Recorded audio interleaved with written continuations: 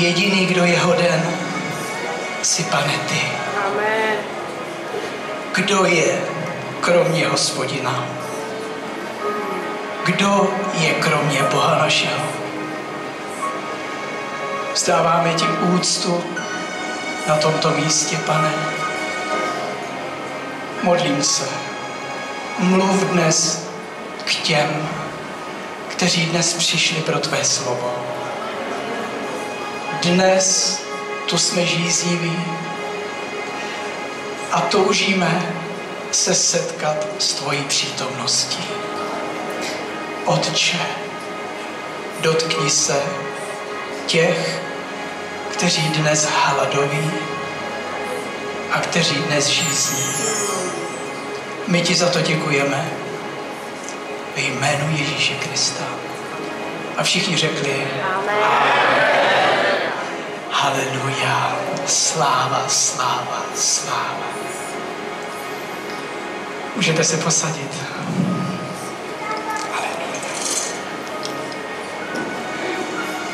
Šel bych do Božího slova, do Lukáše 23. kapitoly, kde Pána Ježíše vedou na Golgotu. A od 33. verše prosím, ať jsme v pokoji, v klidu, aby Duch Svatý mohl proudit. Přečtu. A když přišli na místo, které slové popravištné, tu ho ukřižovali i ty zločince, jednoho na pravici a druhého na levici.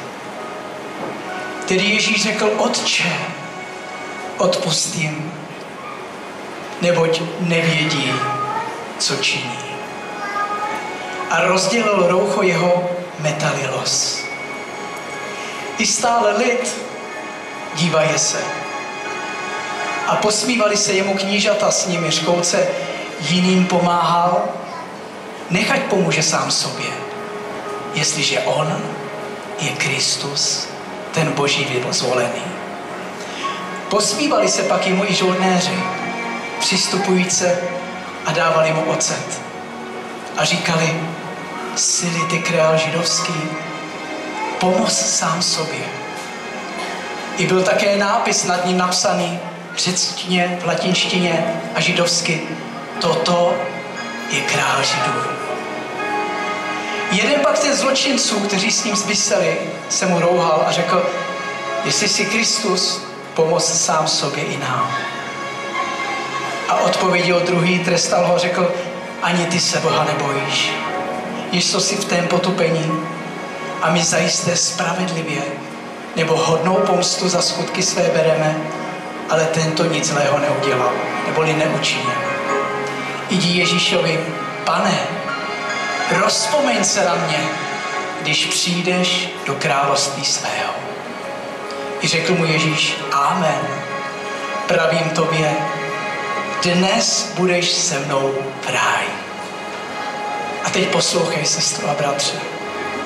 A bylo okolo hodiny šesté. I stala se tma po vší zemi až do hodiny deváté. Zatmělo se slunce a opona chrámová roztrhla se od zvrchu až dolů. i zvolal Ježíš hlasem velikým, Otče, v ruce tvé poroučím ducha svého. A to pověděl, umřel. Viděl centurio, co se stalo, velebil Boha, řekl, tento člověk byl spravedlivý. Tohle je skutečná událost která se stala před dvoumi tisíci roky. Co bych chtěl dnes říct hluboko do tvého srdce? Než přišel Ježíš na tuto zem, tak v Izraeli v Jeruzalémě existoval jakýsi chrám, který postavil Šalamoun. A my víme, že v jistou dobu, když se Šalamoun modlil, když dostavil svatyni a chrám, modlil se a Bůh přišel do svatyně. Jako dým. A přebýval ve, ve svatyni. A víme, že jednou za rok velekněz mohl přijít za tu oponu do svatyně svatých. Jenom on sám do boží přítomnosti.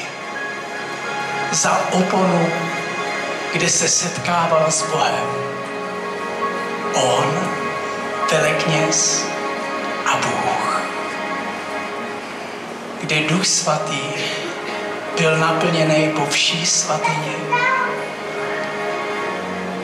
A hospodin se setkával s člověkem.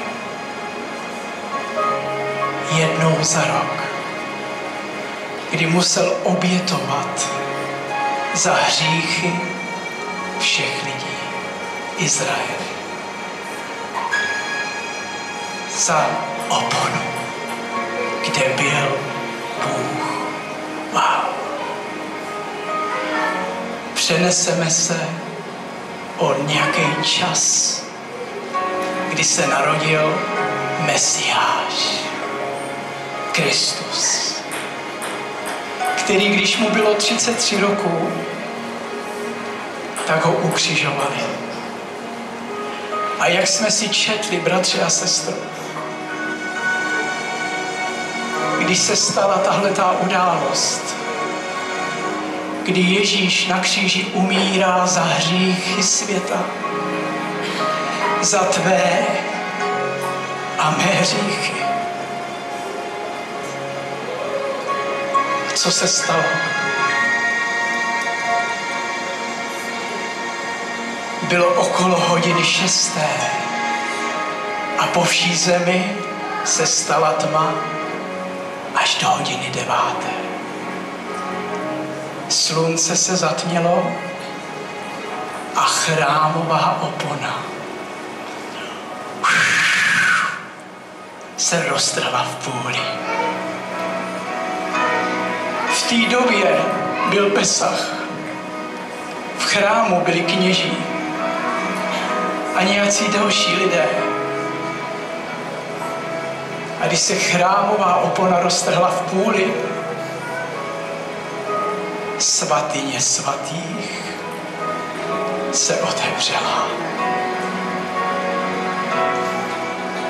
Vítejte, Romové, do boží přítomnosti, do svatyně svatých.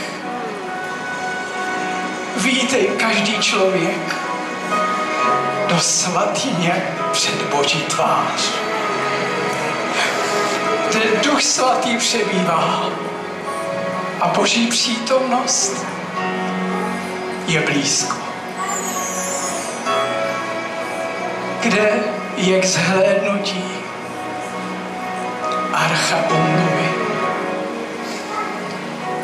A nejen to, že můžeš do Boží přítomnosti. Můžeš vidět, jak ta archa se otvírá. A vše, co je v arše, ti náleží. Náleží ti ty dvě desky, kde je deset překázání, které tam Mojžíš dal. A to zasáhlo do tvého srdce. Ty desky jsou teď tvoje v tvém srdci. Na masitém srdci máš napsáno deset přikázání. To je teď tvoje. Kdy víš, co je správné a co je nesprávné. Kdy můžeš naplnit Boží milost a Boží srdce jednání, které Bůh dal Mojžíši. A to ne ze svých sil, ale z té boží milosti, která je dána do tvého srdce. Haleluja. A v té arše je také Áronová hůl, symbol moci. Kdy přicházíš a můžeš si vzít, symbol moci. Kdy jdeš do celého světa a kážeš evangelium, uzdravuješ nemocné, vymítáš démony a držíš autoritu nad poraženým ďáblem. Haleluja, je to tvoje. Je to pro tebe. A když se ta archa otvírá, můžeš vidět ještě jednu věc, která tam je. A to je ta mana, kterou jedli na poušti. Můžeš ochutnat Boží chléb. Protože Ježíš řekl, já jsem ten chléb života. Kdo jí mé tělo, bude žít. A můžeš ochutnat Boží. Večeříš s Ježíšem na každý den. Bratře a sestro, takové privilegium vešel si do svatyně svatých. Uzřel si v tváři, v tvář Spasitele Krista. Tvoje srdce je široce otevřené, protože Ježíš vstoupil do tvého života. A jsi s ním posazený po pravici Boha Otce. Toto je něco, co nedokáže člověk moudrostí lidskou pochopit. Je to něco, co Bůh udělal pro tebe.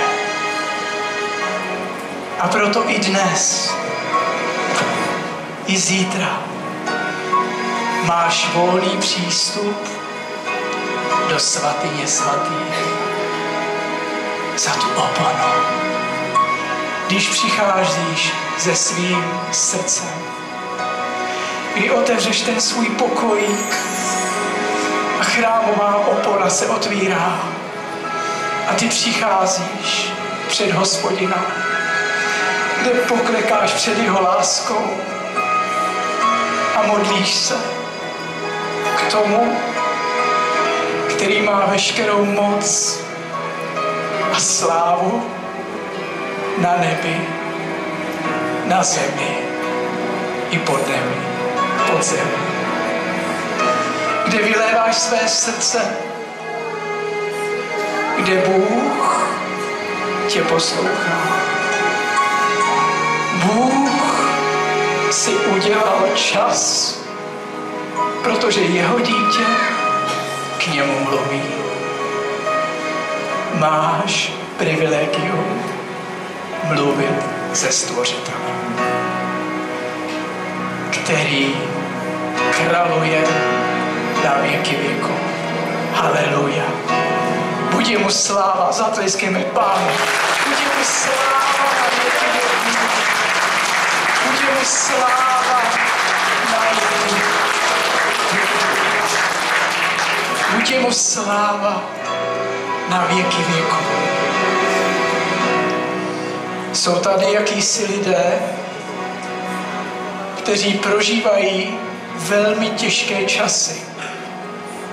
Ty chvíli, než s pánem a někdy se jakoby zastavíš a klopítneš a neustále postáváš. A je to neustále dokola a ty už si říkáš, já už nemůžu, já potřebuju něco, něco, aby se mě tu Boží dotkl aby Bůh něco udělal už v mém životě. Je to jako koloběh. Vidím, že se to týká nějaké ženy, která je neustále v nějakém kruhu a chodíš pořád dokola, nemůžeš přes to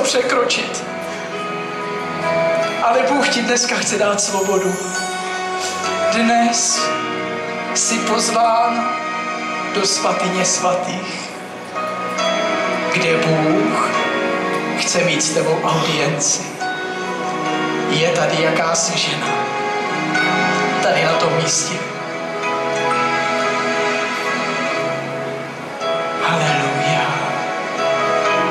Šora babasi.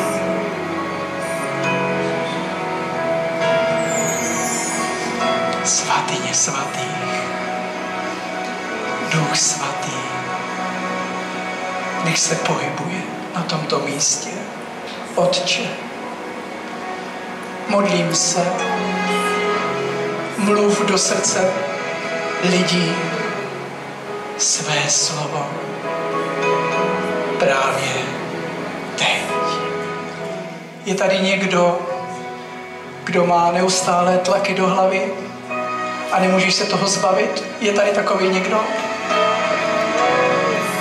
Ještě někdo? Můžete prosím sem dopředu?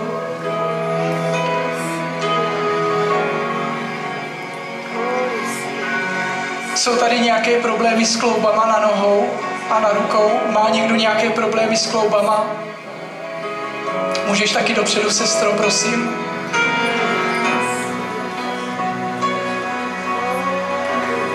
Můžete tady po pravé straně být ty, kteří mají ty tlaky do hlavy. Tady a e, sestro, e, tady s těma kloubama, prosím, na tyhle ty straně. Děkuji moc. Haleluja. Haleluja. Sláva, sláva, sláva.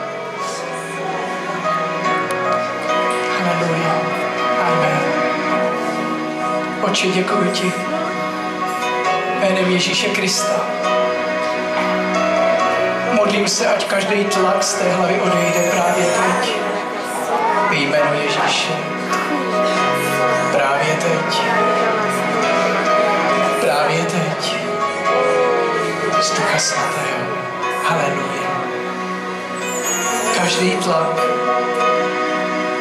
odejdi.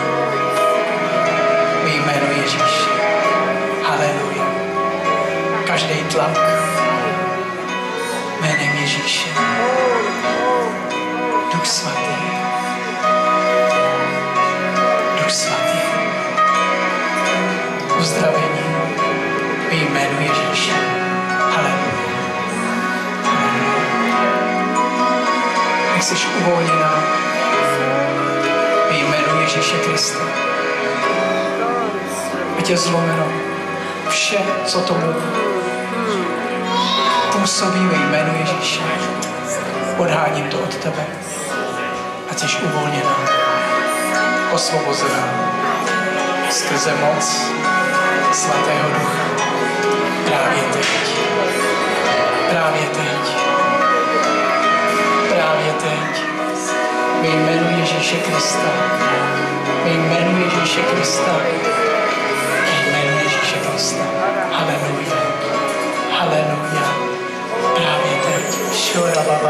felicidade.